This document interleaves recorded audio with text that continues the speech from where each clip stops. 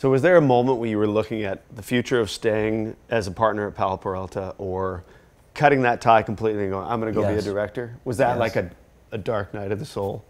Well, it was precipitated by some, you know, by cha- changes that were occurring between George and I and how we saw the company and where he wanted to take it, where I wanted to take it, and um, we just we were really good partners building a business, but when it came to sustaining a business, we both had completely different ideas on how it should be done. And so, uh, yeah, I had some soul-searching moments to like untether myself from this and start fresh and do something new.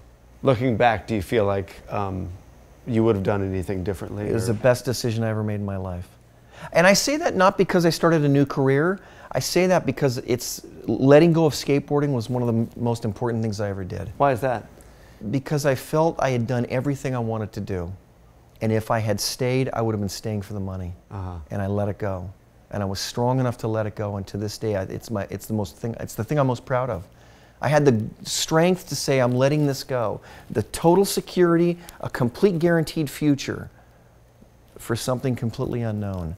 You didn't walk away when there was another lull. It, skateboarding was big was, when you walked away. we had had our most successful Christmas ever.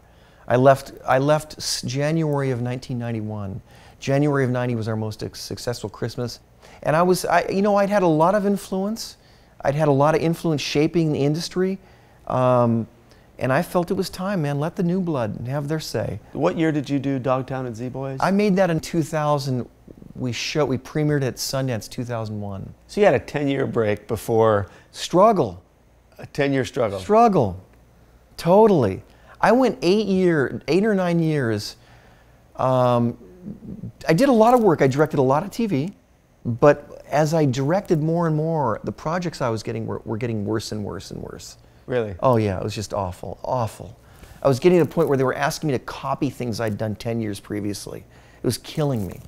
I wrote five screenplays at that time. I wrote and directed a number of short films. Everything I did, every single thing I did ended up in a landfill. But I wanted to make it as a filmmaker. And when I finally made it, um, when I finally got my film into Sundance, it took me nine years to become an overnight success.